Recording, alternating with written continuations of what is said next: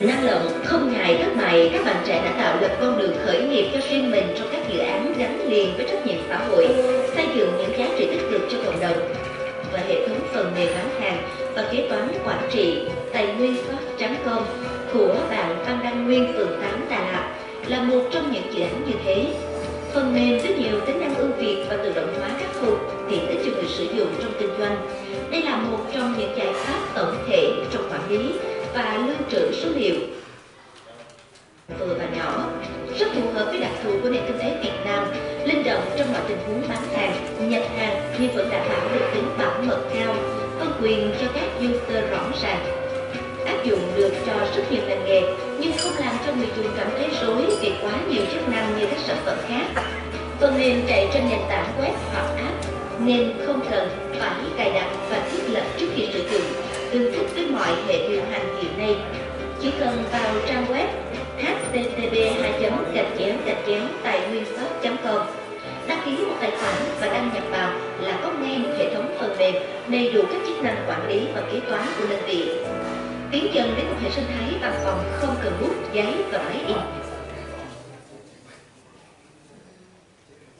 à, để ờ, trả lời cho câu hỏi vì sao tài khoản shop ra đời thì hồi sáng giờ chúng ta là nói rất nhiều về những hoạt động chuyển đổi số và cái xu thế uh, hiện nay. Thì uh, có rất nhiều cái diễn đàn trên toàn thế giới người ta cũng nói về cái vấn đề chuyển đổi số là một cái hoạt động tất yếu đối với các doanh nghiệp muốn hoạt động sản xuất kinh doanh trong thời đại công nghệ 4.0 hiện nay. Thì ngoài cái cái, cái, cái cơ hội như thế thì tại thị trường Việt Nam đây là một cái vấn đề không phải là mới mẻ nữa. Nhưng ở đây có anh ờ, uh, Xuân Hoàng của của bên Visa cũng đã làm cách đây hơn 20 năm rồi nhưng mà cái nhu cầu của thị trường này nó rất là lớn. Theo thống kê của nhóm phát triển thị trường Microsoft shop thì à, tới năm 2020 thì có khoảng hơn 2 triệu đơn vị sản xuất kinh doanh vừa và nhỏ có nhu cầu sử dụng quản lý số liệu kinh doanh. Thì à, với cái nhu cầu thị trường như thế, nhưng các cái nhà cung cấp các cái giải pháp này ở trên thị trường Việt Nam của mình thì chưa đáp ứng nổi 20% như vậy là con số đang còn trống, một số các đơn vị sản xuất kinh doanh đang sử dụng tay sử dụng sổ sách vào Excel rất là nhiều do đó thì tài shop ra đời thì à, nhập giúp cho các cái đơn vị sản xuất kinh doanh vừa và nhỏ họ tiết kiệm được chi phí họ có thể bỏ ra từ 100 ngàn cho đến một triệu đồng trên một tháng có thể sử dụng được chức năng phần mềm và lý số liệu kinh doanh cho đơn vị của mình rồi. Vâng, anh Nguyên có thể đẩy nhanh tốc độ nói của mình để đảm bảo uh, thời lượng chương trình. Bởi vì à, bản thân Nguyên là một người đã từng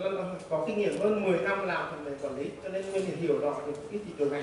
Và chính vì thế cho nên Nguyên quyết định à, khởi nghiệp bằng cái dự án phần mềm quản lý số liệu kinh doanh. Nó là một cái hệ thống bán hàng và kế toán còn chỉ tên gọi các chức năng của nó thôi. Do đó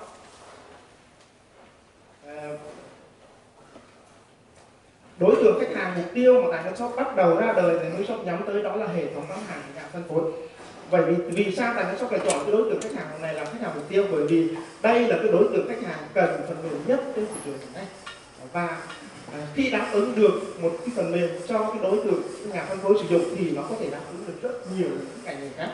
Và cũng chính vì thế tài shop chọn lấy à, nhà phân phối là đối tượng khách hàng mục tiêu.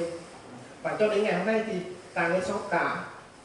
có cái bảng giá cho tất cả rất nhiều ngành nghề như bán cà phê, nhà hàng, khách sạn, siêu thị, đại lý hoa và được xây dựng. Và nhà phân phối là cái số lượng khách hàng mà nhiều nhất của Đài shop có mức giá từ 200 ngàn đến 800 ngàn đồng trên một tháng. Thì đây là mức giá. Vậy thì bắt đầu từ tháng 3 năm 2018 tài shop bắt đầu tung cái bảng này ra thị trường. Thì thời gian kết thúc năm 2018 Tàng Shop có được 6 khách hàng. Và đến kết thúc năm 2019 Tàng Shop có được 200 khách hàng. Và tổng số lượng khách hàng quay trở lại mua cho năm tiếp theo là đạt tỷ lệ 100% như vậy tại con số là, là, là và đến bắt đầu kết thúc. 6 tháng đầu năm 2020 thì Tàng Shop đã có được 400 khách hàng. Như vậy thì ờ, tốc độ tăng trưởng của Tàng Shop đã đạt trên 200% năm.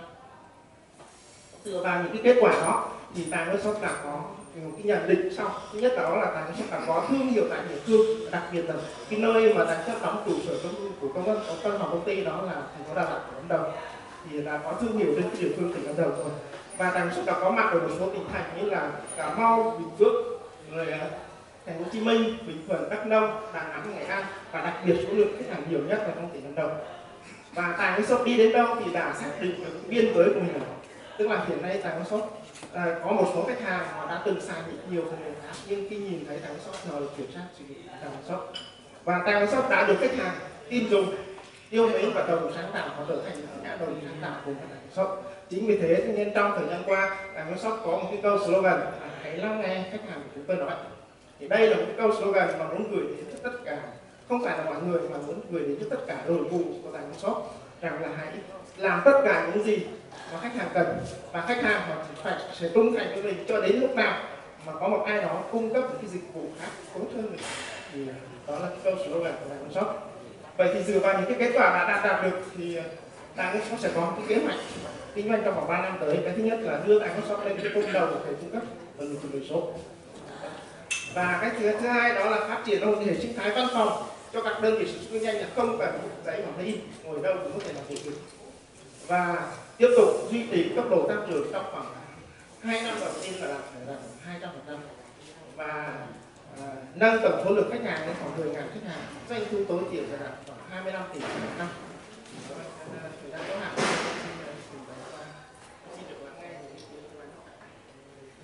Thời gian ạ.